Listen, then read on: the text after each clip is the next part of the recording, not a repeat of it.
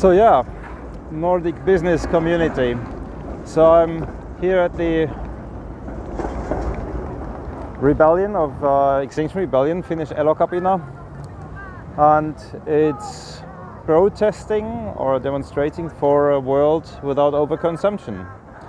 And I think for us as a business community, or me at least seeing myself as a member of the Nordic business community, I feel that this is very relevant for us to think about that this generation and it's well not generation only there's like young and old here. These people here who are aware that overconsumption is killing us.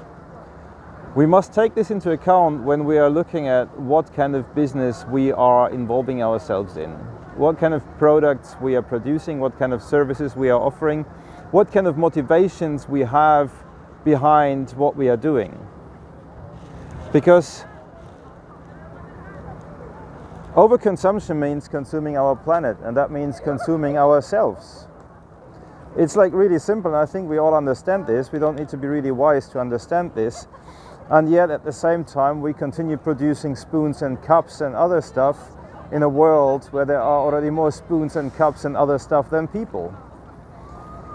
When we think about the priority of the well-being of life in all its diversity to have as our number one priority in our very own interest, in the interest of our businesses or the survival of the people inside, behind and in front of these businesses, then we must understand that the world is an ecocentric one. We cannot choose not to be ecocentric.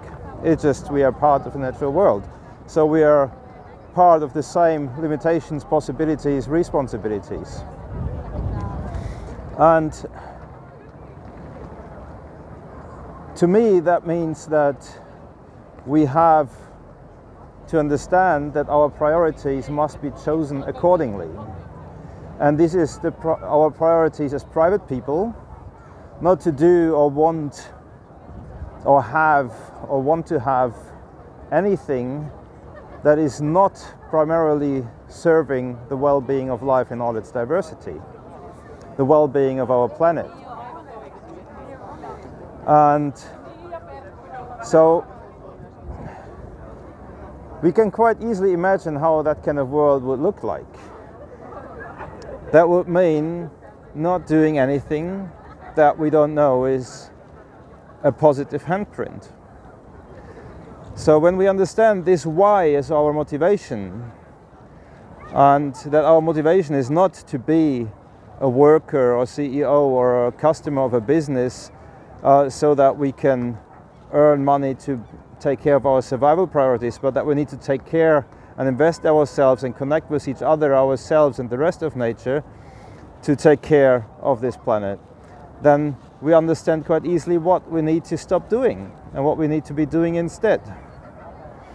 And once we have this why sorted, and to me the reason of life is exactly this why, to just serve life, then it should be easy to just not take jobs anymore that are not fulfilling this criteria.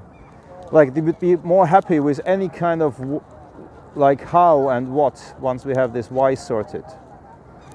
And high level sustainability and deep nature connection, they are our lifesavers not just more sustainable for the books. It needs to be honest.